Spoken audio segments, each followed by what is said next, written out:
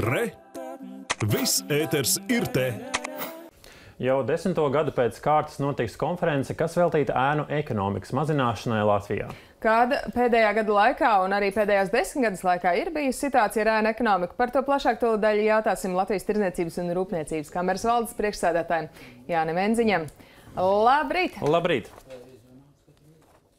Ēnu ekonomika Latvijā desmit eh, gadu šķērsgriezumā pāris punktos par to, vai un kā situācija ar ēnu ekonomiku ir mainījusies vai uzlabojusies eh, šogad laikā, un ko jūs izceltu kā būtiskākās atziņas?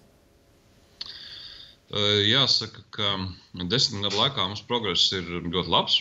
Mums ir no 38% iekšzemes koprodukta kritums. Nu, mēs šodien, šo, šobrīd vēl nesakām šā gada ciparu, bet nu, tur, turpat vien esam 23, 24%.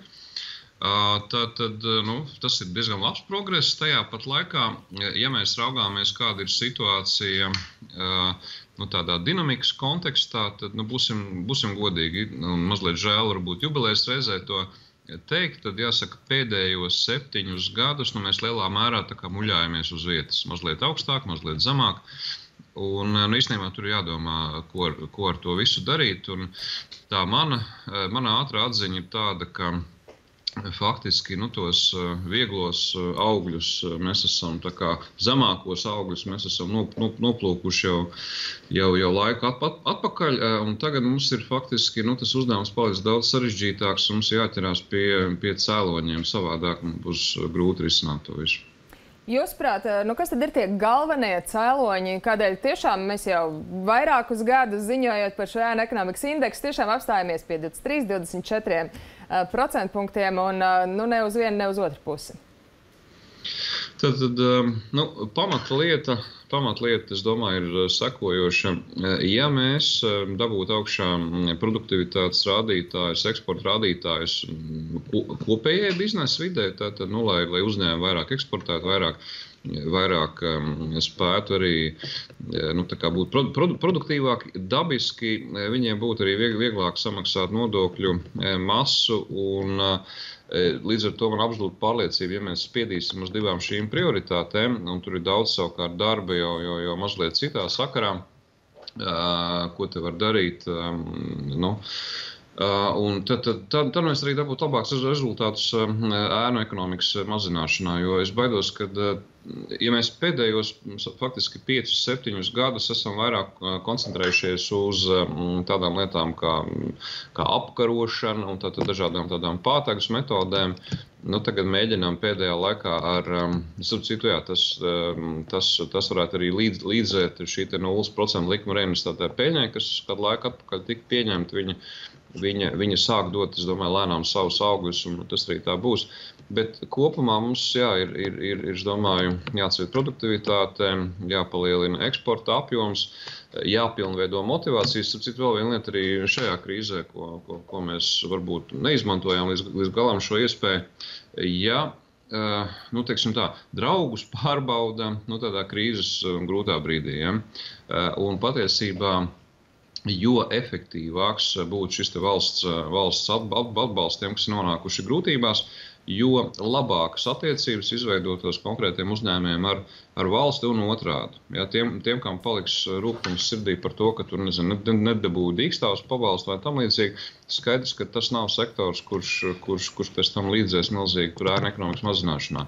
Un otrādi, tie, kas būs, tie, kas būs sajutuši no valsts tiešām atbalstu nu, šajā, šajā grūtajā brīdī, nu, tieši domāju, arī būs daudz pozitīvāk attiecībā uz, uz ēna ekonomiku un nodokļu maksāšanu turpmāk. Jā, nu jūs pieminētie dīkstāvis pabalsti patiešām diezgan arī uzskatām iezīmē to, kāda ir situācija. Tā skaitā, ka ir problēmas ar nodokļu nomaksu. Jūs minat, nu pat arī teicāt, ka pēdējos gados pārsvarā tāda pātagas metode ir izmantota un, un tiek sodīti uzņēmēji par nodokļu nenomaksāšanu.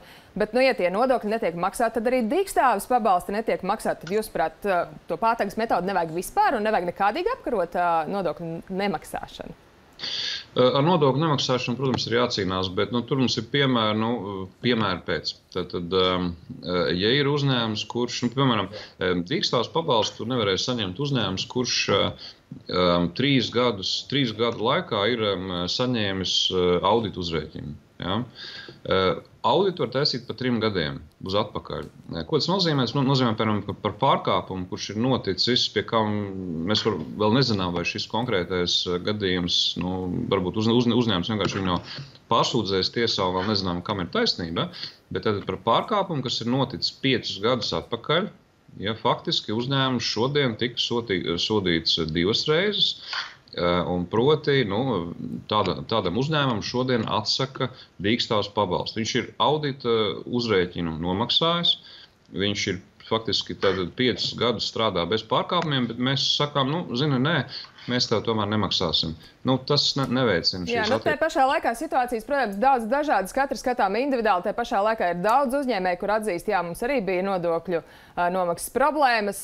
Tas viss ir izskaidrots, un pēc tam arī individuāli risinājumi ir meklēti. Bet uh, pilnīgi skaidrs ir tas, ka jo visi mēs būsim atbildīgāki viens pret otru, jo uh, labāk noteikti arī viss, uh, visa mūsu ikdiena veidosies.